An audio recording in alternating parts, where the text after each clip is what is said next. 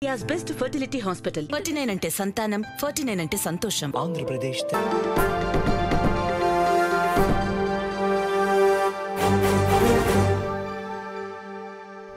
తెలంగాణ భవన్లో తెలంగాణ రాష్ట్ర సమితి విస్తృత స్థాయి సమావేశం జరగబోతుంది.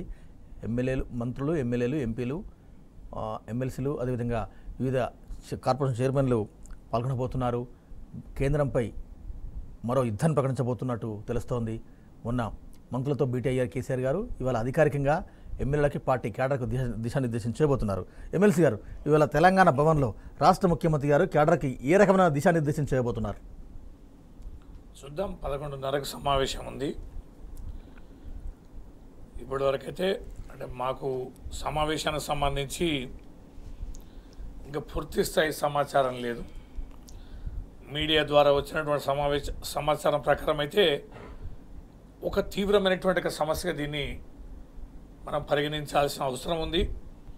కొద్ది రోజుల్లోనే దాదాపు ఎక్కడ చూసినా కూడా వానాకాలం ఏ రీతిలోనైతే ఓ ఐదు పది పర్సెంట్ తేడా ఉండొచ్చు కానీ ఆ దాదాపుగా వరి వేసిన రైతులు దీనికి సంబంధించి కేంద్ర ప్రభుత్వం అనుసరిస్తున్న మొండి వైఖరికి నిరసనగా ప్రజాక్షేత్రంలో నిరసన కార్యక్రమాలు తేల్చాల్సిన అవసరం ఉంది.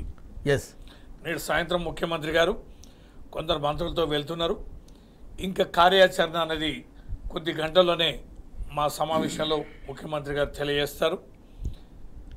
యావత్ ప్రజలందరూ కూడా పక్కదోవ పట్టించే ప్రయత్నానికి ఈ యొక్క మహోజ్వల కార్యక్రమానికి రైతు రాజ్యానికి రైతు వ్యతిరేక చర్యలు చేపడుతున్న కేంద్ర ప్రభుత్వానికి వ్యతిరేకంగా టీఆర్ఎస్ పార్టీ తెలంగాణ ప్రభుత్వం చేస్తున్న ఆలోచనలు కేసీఆర్ గారి మదిలో ఉన్నటువంటి అంశాలు తప్పనిసరిగా ప్రజల మద్దతు ఉండాలి ప్రజల భాగస్వామ్యం ఉండాలి పార్టీ శ్రేణులందరూ కూడా దీంట్లో నిమగ్నమై ఉండాలి తెలంగాణ ఏ ఏ అంశంపైన అయితే.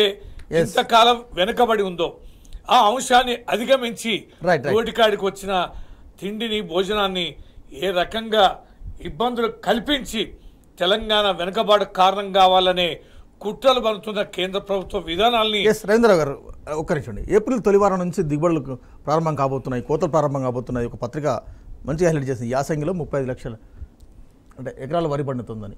అంటే వాస్తవానికి ఏంటంటే ఇది ఇప్పుడు అర్థం చేసుకోవాల్సిన విషయం ఏంటంటే పోయినసారి వానకాలానికి అరవై ఐదు లక్షల టన్నులకు మనకి ఇచ్చినారు వరికి. అంటే నలభై ఐదు లక్షల టన్నుల బియ్యానికి ఇచ్చినారు. అది ఫుల్ఫిల్ చేసిన తర్వాత మంత్రులు పోయి పది రోజులు కూర్చుంటే అడ్జస్ట్ చేసి ఇటు చేస్తే ఇంకో ఇరవై లక్షలు పెంచినారు. ఇరవై లక్షల టన్నులు అయిపోయింది అది. పోయినసారి వానకాలం పండిన పంట ఎంత? కోటి పది లక్షల పైన టన్నులు పండింది. అంటే నువ్వు కొన్నది ఎంత? ఫిఫ్టీ పర్సెంట్ నువ్వు కొన్నావు. గుర్తుపెట్టుకోవాల్సింది ఇక్కడ బీజేపీ నాయకులు కేంద్ర ప్రభుత్వం గుర్తుపెట్టుకోవాల్సిన అవసరం అంటే తెలంగాణ రాష్ట్రంలో వానాకాలం పండిన వరి వరి దాంట్లో నువ్వు కొన్నది సగం మాత్రమే. ఇప్పుడు వేసంగిలో అసే కొనని అంటున్నాం. వానాకాలం అన్నా సన్నుడ్లు పడతాయి ఇప్పుడు పండవు. కొనను అనడానికి ఏంది దీని వివక్ష ఏంది అనేది మనం అడుగుతున్నాం ఇప్పుడు. రెండో అంశం నేను చెప్పేది ఏంటంటే ఇక్కడ ప్రతిపక్షాలకు కూడా నా సూచన ఇది టీఆర్ఎస్ పార్టీకి బీజేపీకి సంబంధించిన పంచాయతీ కాదు. తెలంగాణ రాష్ట్ర రైతాంగం యొక్క సమస్య.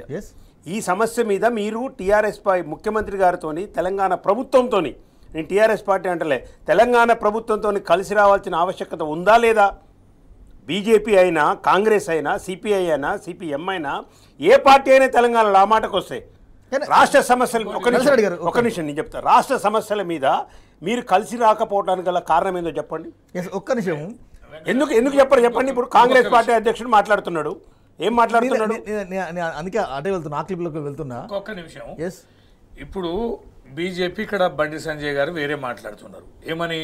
మేము అలా అనలేదు కొంటమన్నాం ఎక్కడన్నాం అది అన్నామని ఇప్పుడు ముఖ్యమంత్రి గారు వస్తారు మా మంత్రులు వస్తారు. నిజంగానే మీకు చిత్తశుద్ధి ఉంటే టైం ఇచ్చి మాట్లాడండి. మీ మీ తప్పేందో ఒప్పేందో తెలుద్దాం. ఏంటి? రవీంద్ర గారు సరే ఇప్పుడు వస్తుంది. వరి ఎవ- ఎవరు కొనాలండి? వడ్లు ఎవరు కొనాలి? ఎవరు కొనాలి? కింద కొనాలి కదా? ఖచ్చితంగా. మరి కాంగ్రెస్ ఒక అధ్యక్షుడు ఊరంతా ఉలి ఒక ధర ఉలిపికొట్టదు ఇంకో ధర ఇప్పుడు కాంగ్రెస్ పార్టీకి మొదటి నుంచి ఉన్న దరిద్రం ఏంటంటే ఆ పార్టీకి ఉన్న దరిద్రం. ఇప్పుడు కేంద్రంలో అయినా దేశం మొత్తం మీద ఆ పార్టీకి ఉన్న దరిద్రం అధ్యక్షులు లేని పార్టీ ఇంతవరకు అధ్యక్షులు. నియమించుకోలేని పార్టీ ఇరవై మూడు మంది జీ ట్వంటీ త్రీ అని రాస్తున్న పార్టీ. ఇక్కడ మాట్లాడేది రాష్ట్ర వైరుధ్యాలు అసలు మీకు అర్థమవుతున్నాయి కావట్లేదు అంటున్నా. రాష్ట్ర ప్రభుత్వం ఎందుకుంటే తిక్కలు లెక్క మాట్లాడుతున్నారు సోయి లేకుండా మాట్లాడుతున్నారు అట్లా కాదు ఎవరు కొనాలండి? ఆ మాత్రం తెలియదా పిసిసి అధ్యక్షుడు ఉండి. వరి వాడు ఎవడు కొంటాడు? రాష్ట్ర ప్రభుత్వం కొంటుందా? కేంద్ర ప్రభుత్వం ఆ చూడండి ఓనర్ గారు. అదేనండి నేను అనేది అదే నేను అనేది అక్కడ ఏదో జనం కోసం నాలుగు సప్పట్లు కొట్టించుకోవడం ఆ కిరాయి రౌడీలను పెట్టి ఆడబోయి రెండు వందల మంది సప్పట్లు కొట్టించుకునే చెక్కలు కాదు. వరి అనేటోడు ఎవడు కొనాలి చెప్పరు ఎస్ కాంగ్రెస్ కాంగ్రెస్ నాయకుడిని నేను అడుగుతున్న డైరెక్ట్గా ఈ వేదిక మించి వరి అనేటది కొనేది రాష్ట్ర ప్రభుత్వమా కేంద్ర ప్రభుత్వమా ఎఫ్సిఐ రాష్ట్ర ప్రభుత్వం ఆధీనంలో ఉందా కేంద్ర ప్రభుత్వం ఆధీనంలో ఉందా? ఈ మాత్రం తెలియకుండా మాట్లాడితే ఎట్లా అండి ఏందన్నట్టు సోయిలేని. రెండో అంశము. రెండో అంశం ఒక్క నిమిషం. రేవంత్ రెడ్డి గారి లక్ష్యం వేరు. ఏం లక్ష్యం ఈ రాష్ట్రంలో ఆయన అధికారంలోకి రావాలి. ఆయన ముఖ్యమంత్రి కావాలి. ఆడ కేంద్రం కొనాలి చట్టం ఏం చెప్తుంది ఇక్కడ సమస్య ఏంది ఇబ్బంది ఏంది ఇవన్నీ ఆయనకు సంబంధం లేదు. ఆయన ఒక కాంగ్రెస్ పార్టీ నేతగా కాంగ్రెస్ పార్టీని లీడ్ చేస్తున్నటువంటి అంశంగా ఎజెండాగా పనిచేయడాలే. రేవంత్ రెడ్డి లక్ష్యం తన సొంత ఎజెండా. రేవంత్ రెడ్డి లక్ష్యం తన మనుషులతోటి ఒక అల్లరి మూకని వెంట వేసుకొని సీనియర్లని పట్టించుకోకుండా ఏ రకంగా సీనియర్లు చేస్తున్నటువంటి సమావేశాలు చర్చలు మనం చూస్తున్నాం. కనుక రేవంత్ రెడ్డి తన సొంత ఎజెండా లాగా తీసుకొని కేంద్రం కేంద్రం ఇప్పుడు కాదు వాళ్ళ కాంగ్రెస్ పార్టీ అధికారంలో ఉన్నప్పుడు కూడా కేంద్రం ఉంటాయి ఎఫ్సీఐ కదా. ఇప్పుడు కార్పొరేషన్ ఆఫ్ ఇండియా. ఇప్పుడు ఆర్టికల్ టూ సిక్స్టీ ఫైవ్ ప్రకారము కేంద్రం బాధ్యత ఎఫ్సిఐ ద్వారా కొనుగోలు చేయాలి. ఏది బండిస్తే అది కొనాలండి. అది స్పష్టం. ఇంతకుముందు రవీంద్రరావు గారు అంటే తెలియక చేసే చెక్కలు కాదు. ఇక్కడ ఏంటంటే రెచ్చగొట్టి ఏదో దాన్ని పబ్బం కట్టుకుందాం అనే రాజకీయ పబ్బం కట్టుకునే కాదు. నేను అంటున్నా ఇది రెండు ప్రభుత్వాల మధ్య సమస్య. మనం తీరి ఆలోచిద్దాం. మనం కూడా ఇది మాట్లాడదాం. కేంద్ర ప్రభుత్వానికి రాష్ట్ర ప్రభుత్వానికి మధ్యన ఉన్న సమస్య ఇది అంటే కేంద్ర ప్రభుత్వంలో ఉన్న పార్టీ పార్టీ వదిలిపెడితే కేంద్ర ప్రభుత్వానికి తెలంగాణ రాష్ట్ర ప్రభుత్వానికి సమస్య. కొనవలసిన బాధ్యత మీ ముందుందని రాష్ట్ర ప్రభుత్వం అంటుంది. దీని మీద ప్రతిపక్షాలు కలిసి రాకపోవడానికి గల కారణం ఏంటి కర్ణాటకలో నీటి ఇష్యూ వస్తే అందరి సమస్యలపై కలిసి రావాలి. పార్టీలని. తమిళనాడులో నీటి సమస్య వస్తే ఒక రాష్ట్రానికి సంబంధించిన ఒక రైల్వే లైన్ రావాలంటే అందరు కలిసి కొట్లాడతలేదా? మీకెందుకు ఆ సోయి లేదని అడుగుతున్నా. ఇలా టీఆర్ఎస్ పార్టీకి ఏం సంబంధము? తెలంగాణ రాష్ట్ర ప్రభుత్వం అడుగుతుంది కేంద్ర ప్రభుత్వాన్ని అయ్యా మా దగ్గర వడి పండింది కొను నాయన అని అడుగుతున్నాము. రిక్వెస్ట్ చేసినాము పది మంది మంత్రులు పోయినరు ముఖ్యమంత్రి గారు లెటర్ రాసిండ్రు కేటీఆర్ గారు పోయినరు వ్యవసాయ మంత్రి పోయినరు కూర్చుండ్రు పది రోజులు ఆడ. ఎస్ దీన్ని తెలంగాణ ఆత్మగౌరవంగా నువ్వు ఎందుకు స్వీకరించడం లేవు? తెలంగాణ రైతుల ప్రయోజనాలు కాపాడడం కోసం మీరు ఎందుకు వెనకాడుతున్నారు Yes. దీంట్లో పార్టీల సమస్య Yes, ఏం చెప్తారండి? రేవంత్ రెడ్డి కామెంట్స్ ఏం చెప్తారు మీరు? ఇంకోటి కూడా క్లారిటీ ఉండాలి. ఇప్పుడు అంటారు పది పన్నెండు వేల కోట్లు అవుతున్నాయి కొనవచ్చు కదా. తెలంగాణ ప్రభుత్వం ఎస్ తెలంగాణ ప్రభుత్వం కొనవచ్చు అంటే తెలంగాణ ప్రభుత్వం వేల కోట్లు వ్యవసాయ రంగాన్ని మీద పెడుతున్నది. రైతు బంధు లాంటి రైతు బీమా లాంటి అనేక పథకాలు చేస్తుంది. ఎందుకు కొనలేదంటే ధాన్యం అనేది దేశం కొనడానికి దేశం వివిధ ప్రాంతాలు వేయడానికి లేదా దేశం ప్రపంచంలోకి ఇతర దేశాలకి ఎగుమతి చేయడానికి కావాల్సిన చట్టం వ్యవహారం గోడౌన్లు అన్ని తన చేతుల్లో పెట్టుకుంది.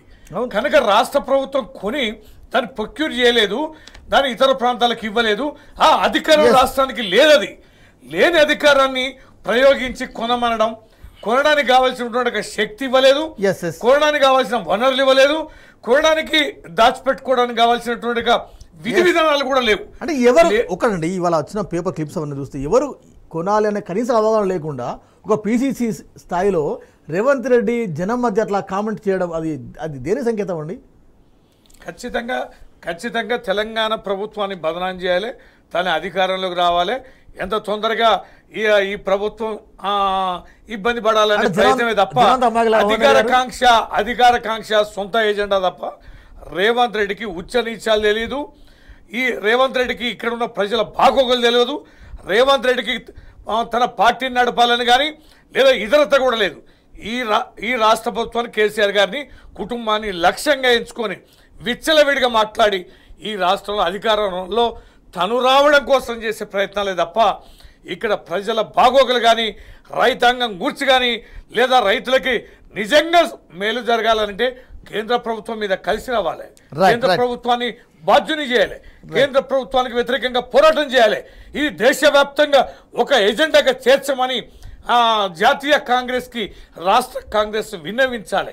ఆ వైపు అడుగు లేకుండా కేవలం ఎక్కడ రచ్చ చేసి ప్రగతి భవన్ ముట్టడిస్తాం ఖబర్దార్ నువ్వు కొనాలి అని చెప్పని ఈ రకమైన భాష మాట్లాడుతుందంటే ఇంతకంటే దిగజాడు ఇంతకంటే సొంత ఎజెండా ఇంతకంటే రాజకీయంగా పనికి మాలినటువంటి. వాడు మీరు బాగా చెప్పారు. లేదని చెప్పని సొంత ఎజెండా ఉందనే కాంగ్రెస్ పార్టీ సీనియర్లు ఏకమయ్యారు నిన్న రేవంత్ రెడ్డికి వ్యతిరేకంగా ఢిల్లీ కేంద్రంగా హైదరాబాద్ కేంద్రంగా భేటీలు కొనసాగుతున్నాయి